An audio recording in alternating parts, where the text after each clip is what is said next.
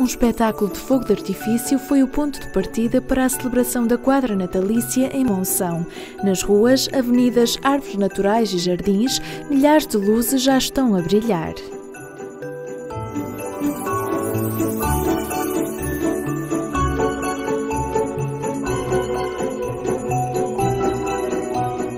Num ano atípico, a iluminação de Natal pode trazer alguma alegria à população e visitantes e também ser uma atração para comprar no comércio local por um lado, tentar trazer as pessoas à rua, percebendo que esta ajuda ao nosso comércio local é essencial ao comércio tradicional, e por outro lado, não esquecendo setores que estiveram completamente eh, sem trabalho durante um ano. Estamos a falar da questão das pirotecnias, estamos a falar desta gente que trabalha com as ornamentações, estamos a falar de setores de atividade que efetivamente tiveram completamente parados. E naturalmente, num ano como este, tínhamos que dar este sinal, este sinal de apoio inequívoco ao comércio, com investimento relativamente reduzido relativamente àquilo que esperamos esperemos que seja o impacto do próprio investimento e naturalmente dando nota a toda esta gente que nós estamos atentos. Já demos ajudas financeiras este ano de diversas formas em diversos setores de atividade, famílias, etc. E portanto dizer que iremos naturalmente estar atentos, iremos tentar estar presentes e tentar ajudar naturalmente quem muito precisa de nós nesta altura mais do que nunca. Com atividades adaptadas aos tempos atuais,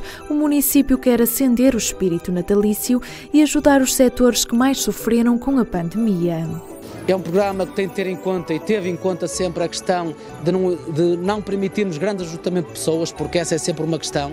Eh, na rua, os perigos somos nós, naturalmente. Como vimos aqui, vieram algumas pessoas à rua, mas em pontos diferenciados. O fogo de artifício foi pensado também nesse sentido. E, portanto, diria que vamos ter algumas atividades, vamos ter algumas novidades, não só aqui nesta praça, mas noutros pontos, para darmos uma alegria às nossas ruas, para que as pessoas sintam vontade de vir até à rua, de vir até ao comércio, de comprar e de ajudar, que nesta altura precisa muito de nós. Com mais cor nas ruas, Monção assinala um Natal mágico até 3 de janeiro.